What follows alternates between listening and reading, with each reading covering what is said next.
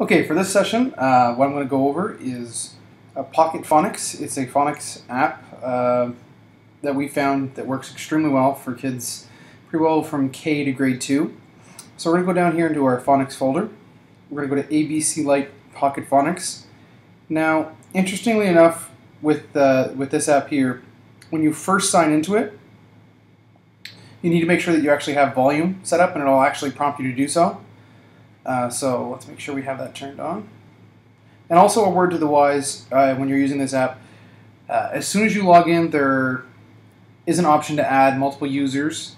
And uh, in order to prevent multiple people from logging in, this app has this weird sort of authentication protocol at the beginning where you have to uh, do a basic multiplication uh, set for kindergarten kids, this is pretty well near impossible. So you've pretty well got to touch every single iPad uh, and get it all set up. So if you're doing 30 and you're going to try this out, make sure you've opened the app at least once before you go through and actually try it out. Otherwise, you're going to have to go around to all 30.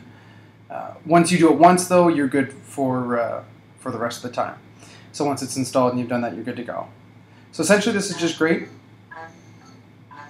You just kind of follow the instructions on screen. And I'll run through this a couple times. But it just, the arrows itself showing you where to go um, and whether or not you get it right or wrong. There's different reactions, so if I go off script, it's going to get me to try and do it again. And it points them in the right direction. So not a difficult app to use, um, but it's great to have headphones with this because of this scenario right here.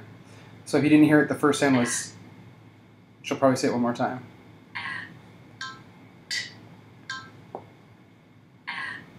So with this app, I've seen uh, students with headphones on like they're in their own little world. So when it gives an image to correspond with the, the word.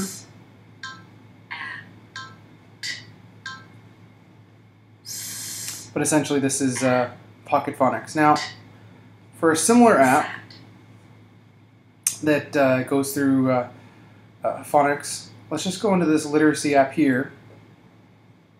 Uh, this company has a, a, math app that's pretty impressive as well. And you also need sound with this one. Uh, it's $3.99 for the full version. When you want to get started, just click on the little alien in the middle there. And it'll get ready.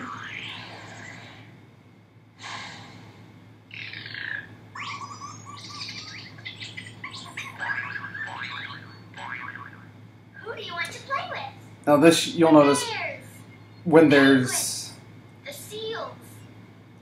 when there's 30 iPads, you really want to have headphones. Otherwise, this can get quite uh, uh, cumbersome. So the only one that's unlocked is words. And what's great about this one is it basically requests you to identify each letter, and it gives you an accompanying sound.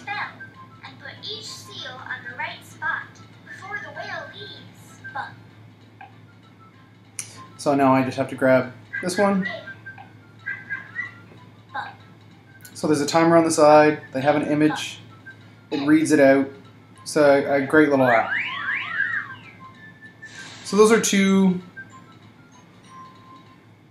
great little phonics apps that you can try out. Uh, and uh, in the comment section or in the description section, you'll see where you can go get those uh, in the iTunes store. Uh, next up, we'll be doing some uh, story creators, so uh, to be continued.